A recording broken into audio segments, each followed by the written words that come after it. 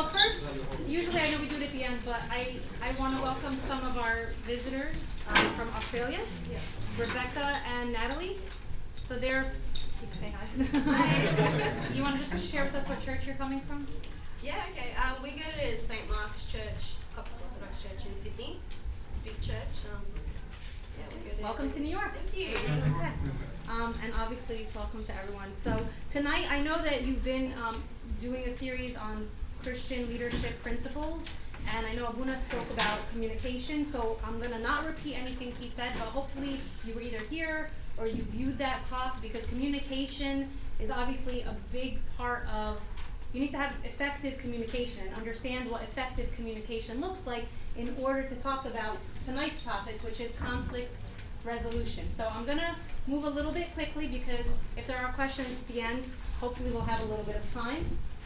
Um, I'm gonna be honest and say we're not gonna finish at ten. Um, unless you really want me to, I can kind of try to cut it short, but it might be a few minutes later, so. Um, on five is okay. Okay. All right, so let's move right in here. Um, so let's. Oh, this is separate. Okay. Uh, let me just get used to the new setup here. Um, so, what is conflict? Is the first. So what is conflict? This there's there's a lot of different definitions that we can talk about. There's a lot of um, examples which we'll get to, but I like this definition. Um, conflict is, and I put the key words in red, a disagreement through which the parties involved perceive a threat to their needs, their interests, or their concerns. Is there anything missing that anyone would, wa- would want to add to this? So I thought this definition really captured it best. And we're, I think the definition will make more sense as we talk more about conflict and how to resolve conflict. So it's a disagreement, right? I think that means ikhtilaf in Arabic. A disagreement is ikhtilaf, Yeah. right? And the parties involved, it could be two people, it could be more than two, but there has to be in general, we're talking about conflict that is not just internal, because of course I can have my own internal conflict and internal struggle. That's not really what we're talking about tonight. We're talking about conflict that exists between at least two or more people. It could be between two countries, it could be, be between two groups, it could be between a brother and a sister, uh, two friends, whatever it might be. Two gangs, okay? And there's a perceived threat. There's, there's an understanding or a, perce- a perception that there's a threat to that person's needs, uh, their interests, or their concerns. Okay? So here's a little cartoon to illustrate. You're fluent in 24 programming languages, but you can't even talk about the weather with me. And this is just an example of what can happen when there is unaddressed. I didn't say unresolved. Conflict cannot always be resolved, but unaddressed. So there's conflict between two people and it doesn't get addressed. So the result can be having explosive conversations where maybe he asked her a question and she responded by saying this because there was other stuff going on she never addressed. It can manifest itself through withdrawing or avoiding the person. Um, it can manifest through anger, manipulation, resentment, all sorts of uh, different ways. But I thought this was a good illustration. So, what are some causes of conflict? And I know, like I said, I'm going to run through some of this so when we get to the application, we have a little bit more time. Take a minute. Um, I'll, I can read through these, especially also if anyone is streaming, so you can see what's up here. And then if there's anything additional, we can add it. So, any form of conflict could be caused by, or different forms of conflict may be caused by, the unreasonable supervisor. Has anyone ever experienced that kind of conflict? Okay. The difficult person, that per- he's just difficult. That person is just difficult, right? The ambitious colleague, someone who you're working with or even if you're studying with and they're just so ambitious and that ambition gets in the way and creates conflict between you and that person. Safety concerns, value differences, which is a big one. Misunderstanding, some, a lot of conflict is based on misunderstanding, not fully understanding either what the person's position is or how, why they are expressing their position in a certain way. Ethical problems, people's ethics, values, moral systems are different. Work styles, so maybe two people are given the same task, but they don't, they can't understand or appreciate the different ways that they arrive at the task. Cultural differences, this should be a big one for us. In fact, I have to pause and share the story. I went to the library today to, to prepare the talk, um, and a man walked into the reference library, a tall, thin um, Polish man. And he walked up, and the, the library is like really quiet. There's like a scattering of people, and he goes up to him. He goes, uh, in broken Polish, he's like really loud. I'm Polish, no English. I need job now. And he was, and the whole library just turned around, and I was like, oh my goodness, you know, I feel, I feel horrible for the man, I feel horrible for the librarian, and he goes, that's my daughter, and then he like says her name in Polish, like it's like this long name. That's my son, and my wife lost her job, and and it's like a big conflict. It's a problem, and you have to find me a job. And so we can totally unpack that, but this man, you know, was was so just full of um, concern. And then in the end, all they said to him is go to Google and look for jobs. And he said, oh, okay.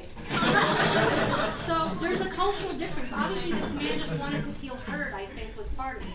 So that's, and for us as Egyptians, you know, whatever cultural background, those differences can, can create conflict, even when conflict isn't really there. Um, internal competition, internal to a family, to an organization, to a church. External competition between two um, two parties or more. Substance abuse can get in the way of a lot of conflict. Role confusion, not really sure what's your role in this situation, what's your role in the house, are you the one that's supposed to be doing this or am I supposed to be doing that? Um, and scheduling conflicts. This is just like an example. Obviously, conflicts, I mean, you know, looking at me the wrong way can be a conflict, you know, anything can be a, can be a cause of conflict. Anything like major that you feel is missing that we should add?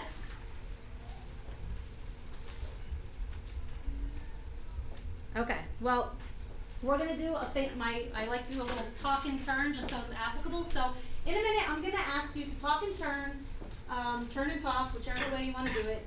And you're gonna do, I'm gonna ask you to very, very briefly do the following. One, I want you to, to describe a conflict that you were in or that you witnessed. That should be easy, okay?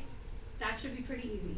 How did you understand the cause or the causes of the conflict, the major cause of the conflict? What do you think was the major cause? Three, how did you respond to the conflict? In other words, what was your role? How did you respond to it? And four, were you satisfied with the outcome? If there was an outcome, maybe it's still unresolved. And I'll give you an example, because you know I like to put myself out there when I ask you to do something. Um, so here's a story of, yeah, here's a story of a girl named Maggie from my school who was removed from the school back in August. She was removed because of safety concerns in her home with her family. Um, she was taken to, she was actually evaluated and told to go back home. And she refused to go back home because she felt unsafe, so she ran away. We found her, and that at that point, she said all the right things that she needed to say in order for um, the state that or that stepped in they took her and they put her in a residential facility, which is like a home where you know kids can stay if they um, are deemed to be unsafe at home. So the long story short is Maggie stayed out of school for about a month in this residential facility with all these other troubled girl youth. And after a lot of conversations and a lot of battles with her family and her counselor, I was, and I worked with her obviously because I'm, I'm her counselor at school, I got her to come back to school. Now, the thing that really um, erupt, you know, sort of erupted and caused Maggie's family to threaten her and to be unsafe towards her was something that was related to her and her boyfriend. Something was exposed related to her and her boyfriend, and it caused a big problem in the home, and there was a lot of threats made, and so on and so forth. So I did a lot of work with her, and I even visited her in the residential facility. I did a lot of work with the, the boyfriend in the school and how we're going to move forward. I talked to the mom. All this was done. And I, I earned her respect and I earned her trust. And so, kind of just fast forwarding, the last week of school, our schedule was very different because there's no more classes, the kids come and go. So I, we had an agreement that Maggie would come to school only when she needed to be there. So one of the days we only had school from 10 to 12 for the kids. But she said, oh, Miss Sorial, I really want to come to school um, because there's an award ceremony at 5 o'clock in the evening. I said, okay, Maggie. I said, I'm telling you right now, if I approve for you to come to school and I tell your outside counselor, the only time you can leave school is at 12 o'clock, you go get lunch, and you come back and you work in the school building. You don't go with your boyfriend. I was very, very clear with her. So what did Maggie do? She left the school building, she went out, she rescued a stray cat, and she had mm. wonderful stories to bring back about why she was out of the building for five hours and missed the award ceremony. So the way, so that's that's the conflict. The conflict that was that sh- I I felt that she disrespected my my trust. She took advantage of it. How did I understand the cause of the conflict? Clearly, she wanted to be with her boyfriend because she has no freedom and no flexibility anywhere else. So she took advantage. And the cause of the conflict was she put her interest to be with the boyfriend above her word that she gave me that she wouldn't leave. How did I respond to the conflict? Well, when she came back that evening for the award ceremony, I just based on the scene that I observed, I wasn't going to address it. So the next morning, I privately brought Maggie into my office. I talked with her and I reasoned with her. I told her how I felt and I and I told her I was going to notify the outside counselor and that she had reached the trust that I had for her and she's going to have to rebuild it and so forth. And was I satisfied with the outcome? Yes. In general, I was. Um, you know, I was satisfied. So that that's my story of a conflict, how I understood it, what I thought the causes of, was, were of it, um, how I responded, and what my what I thought of the outcome. So take about two minutes, turn to someone, one or two people next to you, and share uh, share the following that's that's up here, please.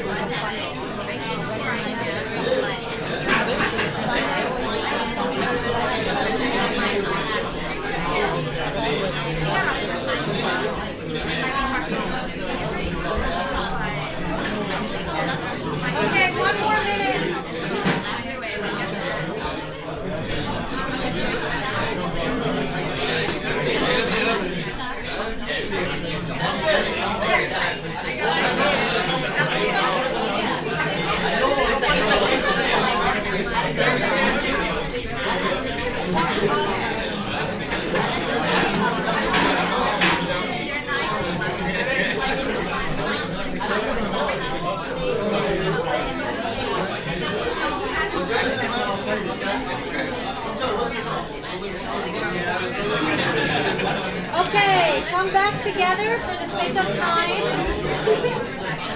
and we're just gonna ask two courageous souls if they'd like to share out uh, before we move on, just so we can have the, the conflict really be um, tangible. Okay, who would like to share an example of a conflict that you either witnessed or that you were a part of? No, I have a conflict with myself. So we're not talking about internal conflict.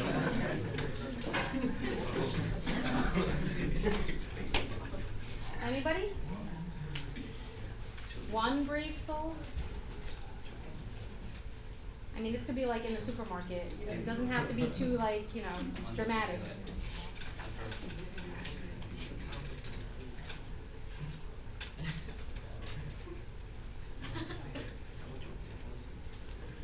I guess I could share. Okay, I thank you. really share what the conflict was, but it was between uh, my dad and I. Okay? And um, I guess the cause of the conflict was that I was stressed out during the day and I completely misunderstood what he was saying. And he didn't understand that I was stressed out, so he thought it was a personal attack on him. Mhm. Uh, so I responded to the conflict by shouting. I was not satisfied with the outcome. and uh, we eventually, you know, I apologized to him, he apologized to me, but we completely misunderstood each other, and it was not even really the the topic that was a point of stress. It was outside things that were happening. So I know I'm being vague, but No, but, but that's, I mean, that's a great example, because I think that could be, that could really describe a lot of our conflicts, which is based, it sounds like it's based on misunderstanding. And other things that come into the conflict that have nothing to do with the conflict are either stress or feeling, you know, overworked.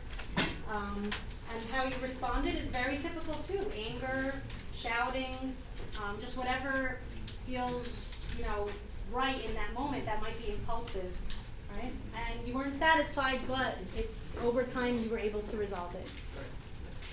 Thank you, okay. So, I know for some of you, you've, you know, I, I use this, this passage a lot, but we have to, you know, it's the same concept of, when we talk about sin entering the world, we have to talk also about conflict entering the world. Um, from harmony to conflict. So if we, if we were to open the Bible and just look at the beginning, we would see Genesis 1 is all about the harmony, the perfect, beautiful harmony that to this day is still studied by scientists, philosophers, historians, you know, everything.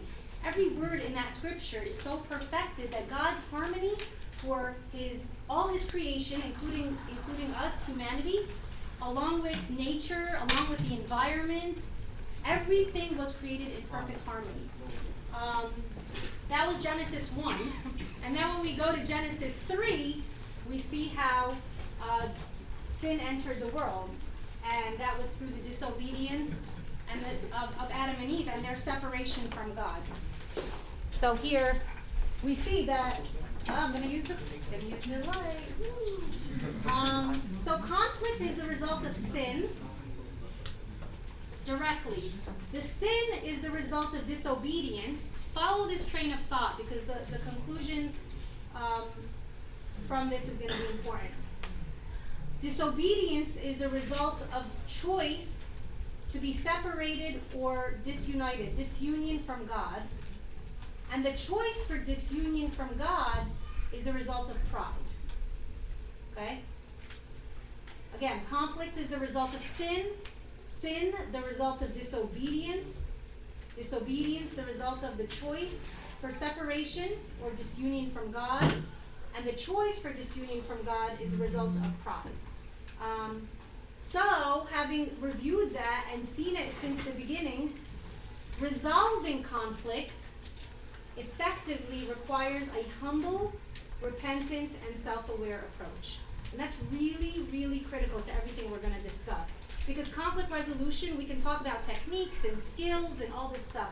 But really, at the heart of it, and this is, again, regardless if, if it's two people, two families, two churches, two co- countries, unless there is some humility, some form of repentance, and some form of self, and, and, and uh, not some, but a good amount of self awareness, that conflict is probably not going to be resolved effectively.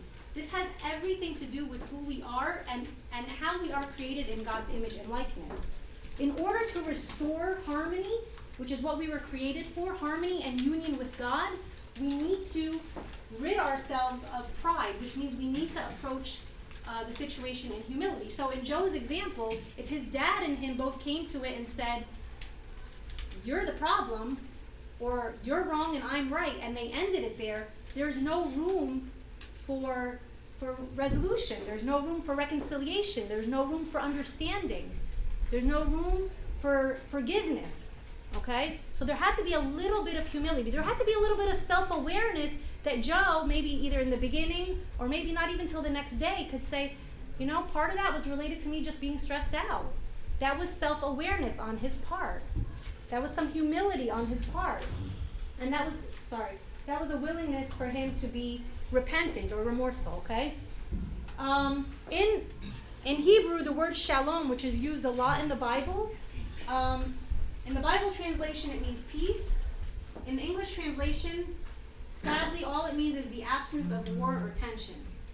But the complete definition of peace or of shalom, completeness and wholeness, or communion with God, with others, and with creation, which includes the environment. Jesus is the King of peace. To have complete peace, it means to be in full communion with God with each other and with nature. So if th- th- this goes to the idea that you know, um, and sadly I hear this a lot. I had to I had to deal with a, a conflict with a student in my school who was going through a horrible just season of her life where she's sneaking out of the house in the middle of the night. She's stealing money from her grandmother. I mean, she's going through all these horrible, you know, decisions because she wants to go out to these rave parties and you know it's all about you know her the stage she's in and what she's not getting at home. Well this was a very serious meeting that we needed to have and the hardest part of the meeting wasn't getting the student to come. It was getting the mom and her sister who are the two people in her life who are taking care of her to sit in a room together because they haven't spoken together for two years. And we hear that we hear that a lot. And sadly it's not usually the person you work with or the person you study with Sometimes it's the people you grew up with, either in your family or close friends, that we have these conflict with, conflicts with. And what I want to say here is what God calls for us is not just communion with Him.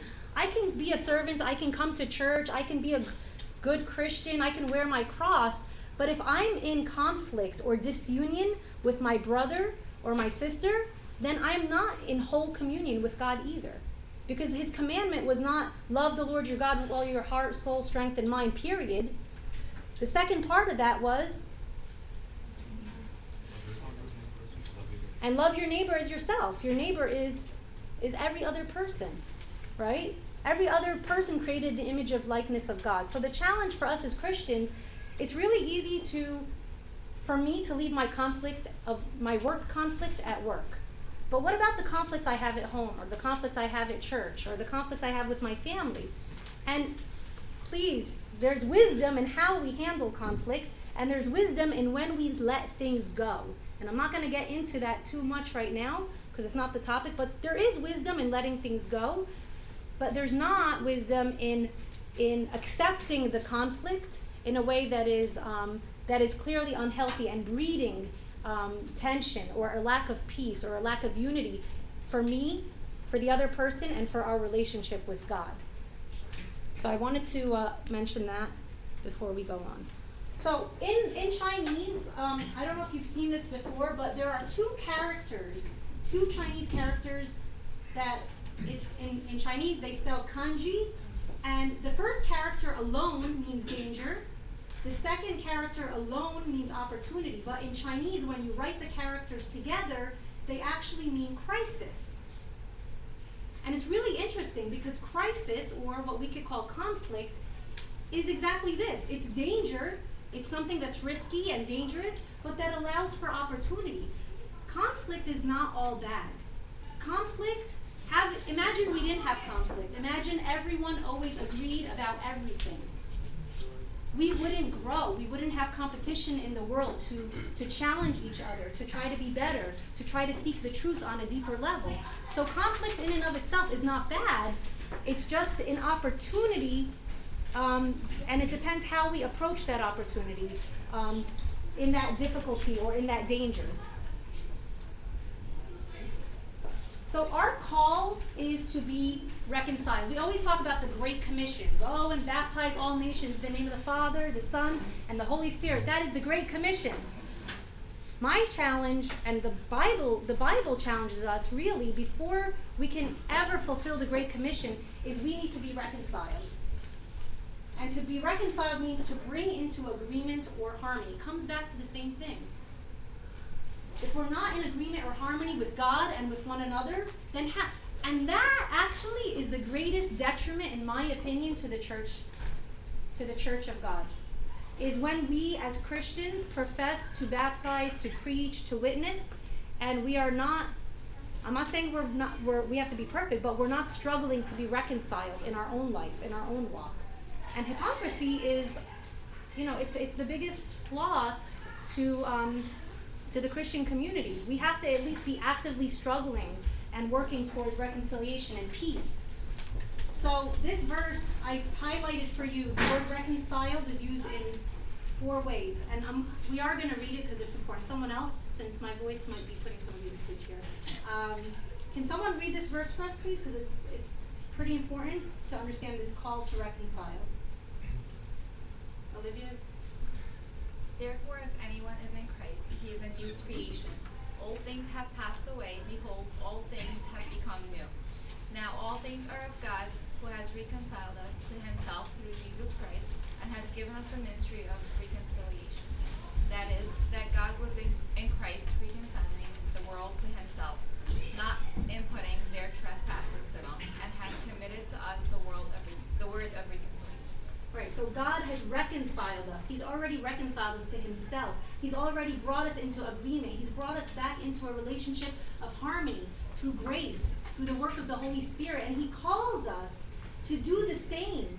If anyone, and this is the clause, if anyone is in Christ, he is a new creation. It is only if we are in Christ and abiding in Christ that we can fulfill this great call, this challenge to be reconciled with God and with everyone. This is completely against our nature on some level. But God says, if you are in me, you can do it. Because if you are in me, I will do it for you. And the work of the Holy Spirit will be working um, through you so that we also can be committed to the work of reconciliation.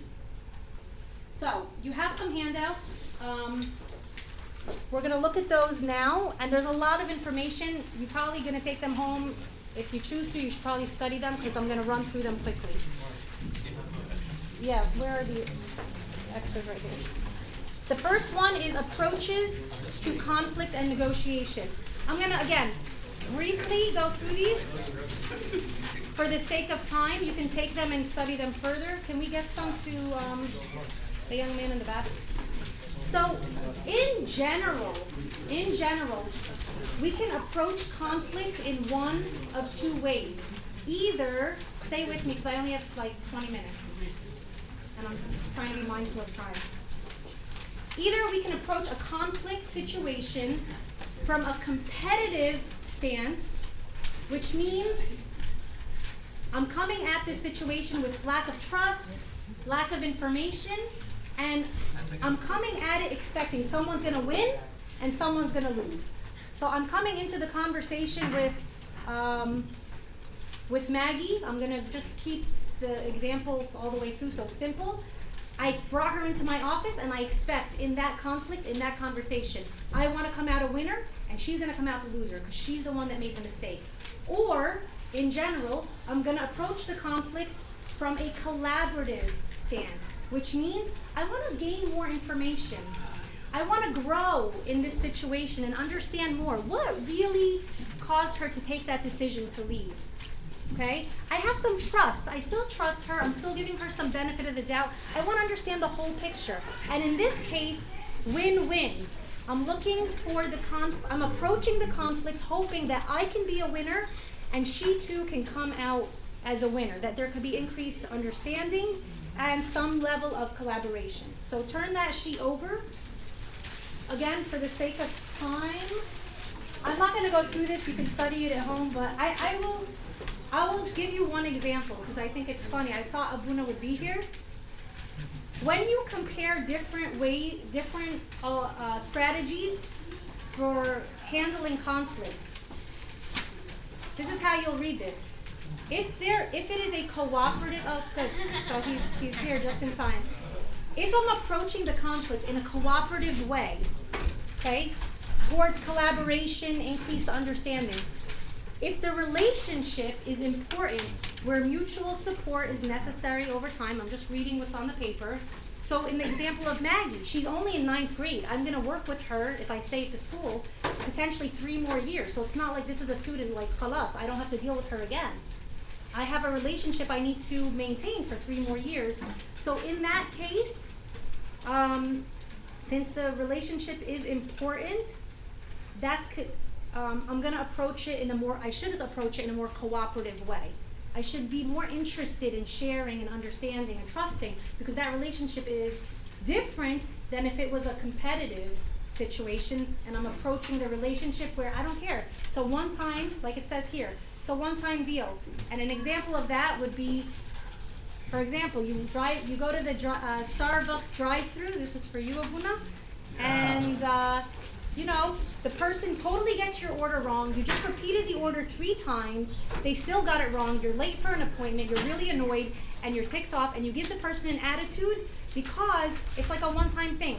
This person doesn't isn't does isn't doing their job right. They're wrong. I'm right. I'm gonna blow up because I don't. I never have to see them again. So the relationship in that case is not as important. But in Abuna's case, it would still be important because Abuna goes through drive-through at Starbucks over and over again. So he would have to maintain the relationship and keep it cooperative, even right, even still, right? So you can go through these. They basically are a comparison based on how you approach um, the situation in that conflict. Okay. Look at the other, the yellow handout. So there are different methods to resolve conflict. You can, I'm just looking right here on the top. It says conflict resolution methods. It's really helpful to be aware. I know it's a lot of information, but as we become aware of this, it actually is useful because it helps us to realize we have options. When you're in a conflict, sometimes I know for me when it's really stressful or time is an issue, like sometimes it feels like there is no other choice. It's just a win-lose situation and that's it. But there really are options, especially, you know, for us as adults. We can either avoid and if you look at the bottom, if in general, if, if I choose to avoid the conflict, then most likely my focus is to deny or to escape from it. So if I didn't want to deal with Maggie, I could have just avoided her. I didn't have to call her into my office. I, I could have said, I, I don't want to deal with another student. This is literally the day before the last day of school. Kifeya.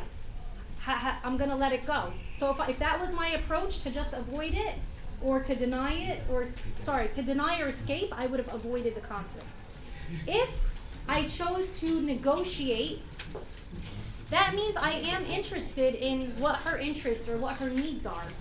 Uh, if I chose to negotiate, that means I'm also interested in my own needs and my own interest in the situation. Another way is to mediate. Mediate, who knows the difference between negotiating and mediating? In general. You. You should know all of these. I don't know. I think negotiating, you're like furthering s- an interest, a specific interest, but mediating, you're trying to come to like a happy medium kind of for both parties. Yeah, there's definitely more of that. And in a mediation, you typically have a third party, which is also one of the differences. You're now introducing a neutral third party to mediate. So with you and your dad's situation, if it got to a point where you said, you know what, we're not coming to an understanding, mom, come here. We want well, I don't know if she would be neutral, but that that would be that would be showing that there's still some interest in your needs and your father's needs to come to um, some understanding. To arbitrate, Mark, uh, had a question? Uh, I um, was gonna say, um, mediating also, isn't that, uh, when the third party will come to say like a conclusion? Isn't that like, uh, a mandatory type of thing normally? Or is that You can, no, more you can actually choose mediation. So in a lot of like family court issues, like it's your choice. If you want a mediator, you can actually choose a me- to have a mediator, or you can choose to go through the courts in, a, in another ma- manner. Sometimes it's mandated, and sometimes it's it's no, not. I'm saying but once there is a mediator, Uh-huh. what then the conclusion that mediator comes to is that like a finalized like thing. Um, I think usually it is. Otherwise, the, yeah, I think usually it is. It depends on the situation again. Like if it's an informal mediation, there's a little bit more flexibility. But if it's a court-ordered mediation, or if it's a, um, you know, even in in a lot of companies they have mediation, like for employees, then yeah, usually they bring that mediator in to to like kind of figure it out and close that case. With um, arbitration or a grievance, and these are all language like you guys will probably become more familiar with, that's when you're really concerned about your rights. Um, with a litigation, that's probably what you're most familiar with, or if you're an attorney, a litigation is when you're bringing in like a judge um, to litigate the situation and to come um, in with a final decision. But there's also like a power, there's a bit more of a power um, dynamic going on there. Um, and the, the concern again, or the focus is the rights as well as the power. That's why you see the line for litigate connected both to the rights as well as now there's a there's an element of power. You have a judge um, who's going to speak who's going to speak sort of the final decision. And then the final thing in terms of dealing with conflict is a fight. We're just going to fight it out. And that could be verbal fighting, it could be physical fighting, it could be, you know, nuclear bomb fighting, whatever it is. Um, and that usually is when you're just, um, your main focus is power. And sadly, when we look at countries across the, the world, a lot of countries bypass a lot of these things, or they fake a lot of these other things, and they revert um, often to a power play. And that's why we unfortunately see more wars today and fights than we would like. Okay, on the back of that paper, we're going to take a, a brief minute to look here. I want you to try to envision, in most cases, when you're in a conflict, okay, when you're in a situation of disagreement with others, um, where do you lie on the spectrum? So on the bottom here, on this axis over here, uh, the x, this is the level to which you want to satisfy others' concerns. And on the y-axis, it's the your attempt to satisfy your own. So here's an example. If, for example, um, I'm only concerned about Maggie and her concerns and her needs, or specifically her concerns in the situation that I gave earlier. Um, but I'm not really concerned about myself. Like, you know, like some people, like, they're always, no, no, you know, I have to, I have to see what's wrong with the other person. Whatever they need, I have to figure it out. I'm, whatever it takes, I'm going to make sure they're happy at the end of this. I'm going to make sure they're taken care of. If I'm that kind of person and I just want to satisfy the, the concern of the other, then I'm going to do one of two things. Either I'm going to Either I'm going to completely avoid them, like I said, I could do with Maggie. I just, uh, uh mean, honestly, she has a very difficult life. She has a lot of problems. Like, she has a lot going on for her. And if maybe my stance was, you know what, I don't want to add to her plate. I don't want to yani, add more more stress to her life and, and more conflict to her, her day. I could, and I'm, I'm someone who's not yani, assertive. I don't know how to assert my opinion. I don't know how to speak up. I don't know how to take a position. Then I'm just gonna avoid her. And that would be right here, right? So I'm concerned, um, I wanna satisfy her concern, but I don't care about my own concerns. So I'm right here, right? Because I'm unassertive. But if I'm assertive, which I am, what did I do? I, I care about her needs. In, in my case, I do care about her needs, but I do also care about mine. If I didn't care about her needs at all, and I said, and I just felt hurt by her, and I wanted to, you know, take advantage of the situation, I would have brought her in and I would have turned it into a very competitive situation. You know what? You defied what I told you in my office. You're gonna. This is gonna be reported to the dean. You're gonna be expelled. Whatever the case, it could have become very competitive, right? If I am concerned for her um, and my own needs, like I'm, I'm concerned for her, but I'm also um, concerned for my what what I think is right, and I'm somewhat assertive. then I would be willing to compromise. I would be willing to compromise and get, have a little bit more give and take. Collaboration, which is all the way on the top right, is when I'm concerned about the other person and I am also willing to assert, um, I don't want to back down from what I think or what I believe. This is really important. A lot of times people think that to show concern for someone means like, khalas, I have to close my mouth. I have to act like, yani, everything is okay. No, I can be concerned about Maggie, which I am. I've done a lot for her. But at the same time, I also feel um, very strongly that and assertively that she needs to take responsibility for the choices she made. So I can approach it also in a, in a collaborative way.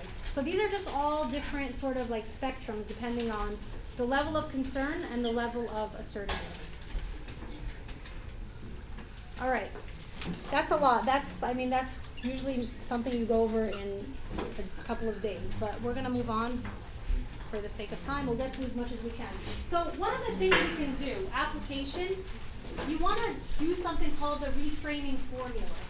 If you can identify your position in a conflict, and you can identify the position of the other person, that's not enough. You have to go beyond that and, and identify the underlying need and the need of your, your need and the other. So, position, my position is I told you not to leave the school. Her position is she left the school. My need is that you respect what I asked you. Her need is I want to spend time with my boyfriend. How can the priority needs for all parties be satisfied? So the reframing is to ask the question like this. Okay, Maggie, I know it's important for you to spend time with your boyfriend. It's also important for me that when I ask you something that you respect it and you keep your word. How can we mutually try to satisfy each other's needs? That question does something. And it doesn't have to be so formal, but it shifts the climate from competitive to collaborative. The way we create a climate in a, in a difficult conversation has a lot to do with how that other person is going to respond.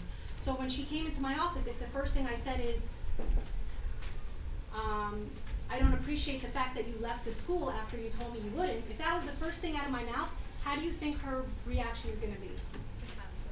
Defensive. Defensive? Is she going to be willing to hear me? No. Um, but if the first thing I said to her is, you know, Maggie, I know you don't have a chance to see your boyfriend. I know that your time with him is very limited and it's really important for you to spend time with him. It was really important for me when I asked you to stay in the building that you kept your word. How can we, moving forward, try to, you know, reconcile your needs being met as well as your keeping your word to me? It just creates a whole different climate. I, I just have a cool question? Mm-hmm. For that last part, what if the priority needs can't be satisfied for both parties? Um, Are you coming to that or? I mean, we are gonna get to it in four minutes, I mean, the last four minutes that we Okay. have, but in general, what I would say, and we'll, we'll get, actually, we'll just go to the next thing. You know, the conver- difficult conversations, usually they feel like linear, like it's, you're, you, you, you see this, I see that, and that's it. But the truth is, in every conflict, and, and I, I have a book actually that, you know, I would recommend if, if anyone's interested, it's called Difficult Conversations. I'll just pull it out really quickly.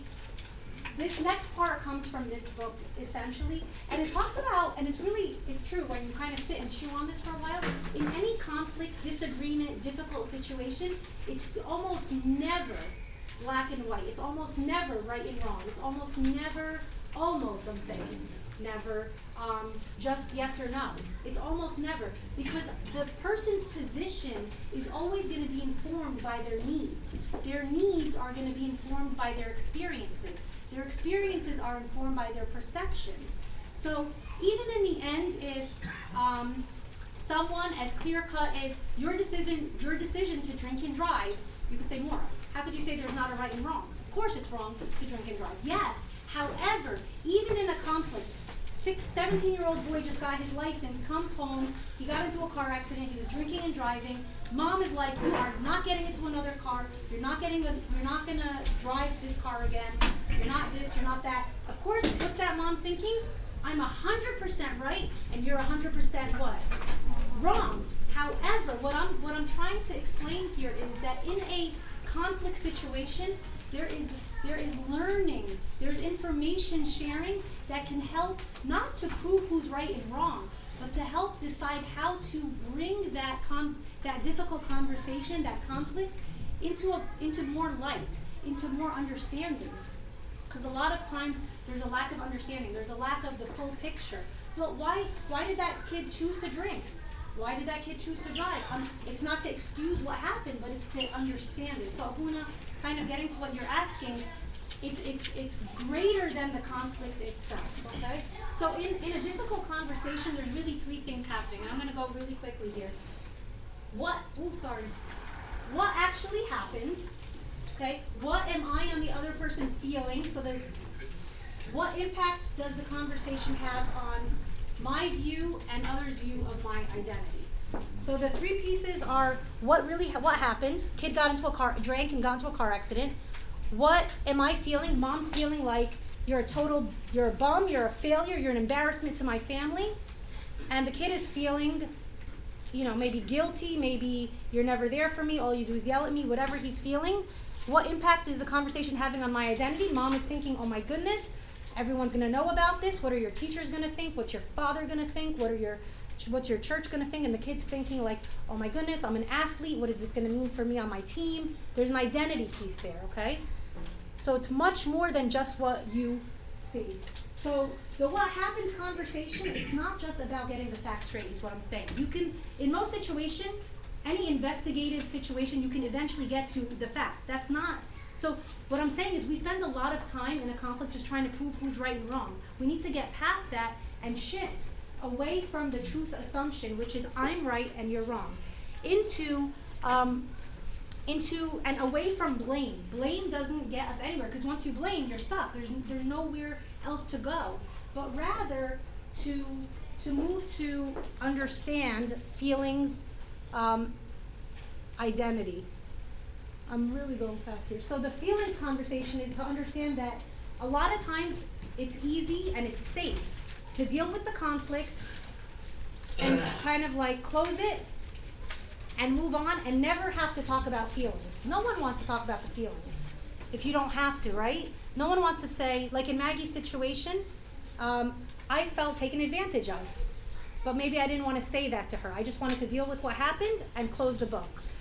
My identity, I was concerned because I'm the faculty member that gave her the okay to leave the building for lunch and come back. How does that make me look? What's my identity going to be with the dean or the outside counselor who trusted me? So there's other pieces that could be explored.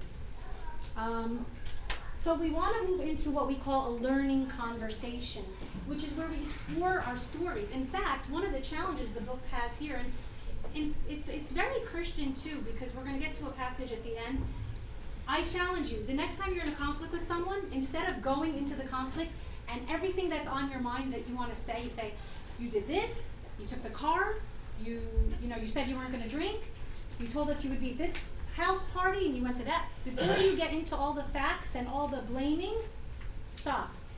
And in the next time you get into a conflict, tell the person, I want to understand what happened. And there's a there's a page in this book.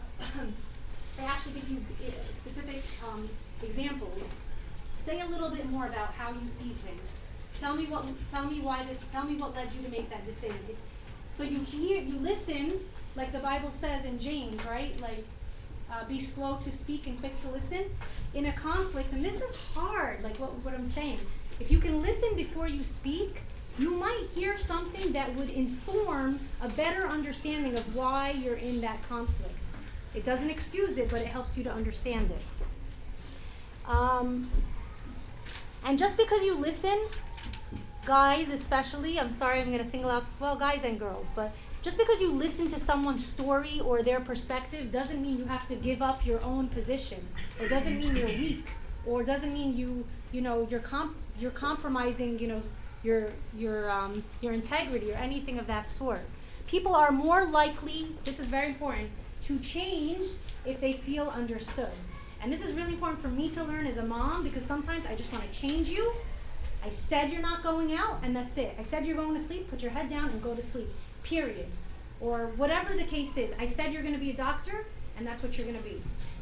People, people can't be changed if they don't feel understood. In fact, people are more willing to shift to something they don't want and change if at least they feel understood. So I challenge you, and the next time you're in a difficult conflict or situation, listen first and see how it can inform um, your, you know, moving beyond that conflict. So I have three more minutes.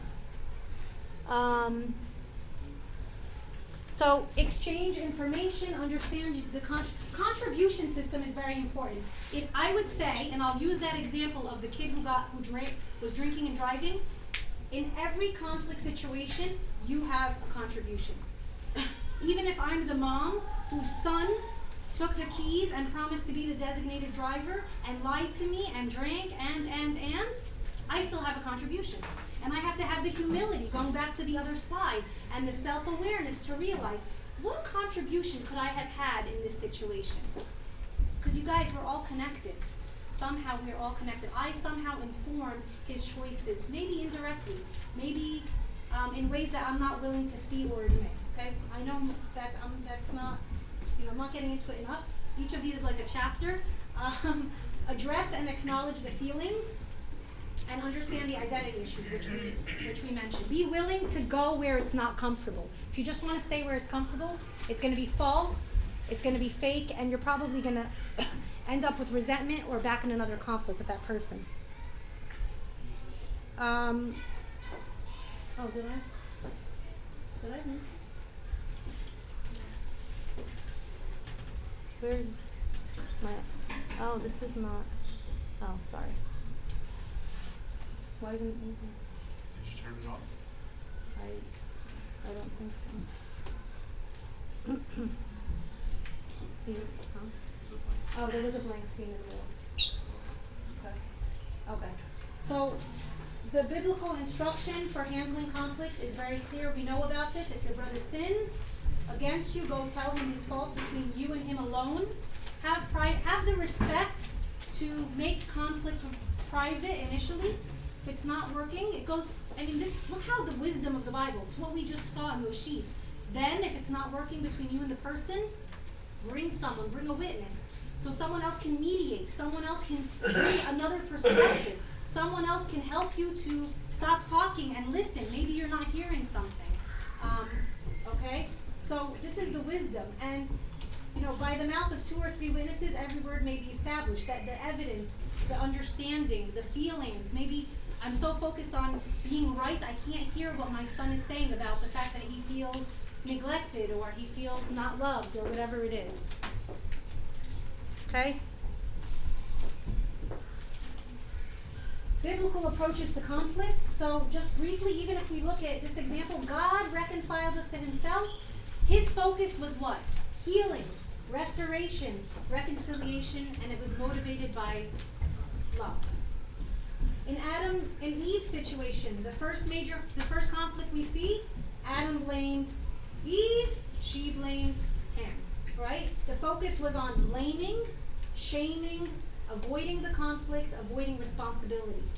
And it was motivated by selfish ambition, again, or pride, like I said earlier. So, the last, I believe, slide here is we need to seek peace. Peace, shalom, reconciliation, agreement, harmony, whatever you want to call it, and we need to pursue it. It's not something natural, it's not something easy, it's not something comfortable, it's not something that's going to be um, come naturally. But we need to seek peace and pursue it, as it says in 1 Peter chapter 3. For God himself was pleased to have all his full was pleased to have all his fullness dwell in him, and through him to reconcile to himself all things, whether things on earth, things in heaven, by making peace through his blood shed on the cross. Jesus brings people back into a right relationship with God, with each other, with creation as a whole. Colossians chapter 1. And, and that's it. So I went only five minutes over. And Samir, do we have time for one question? Okay, is there, there was a lot of information, so. One question? One. One question. Or one conflict that uh, you, you couldn't see yourself um, approaching in this different way?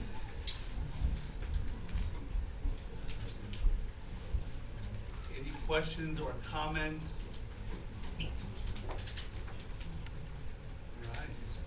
All right.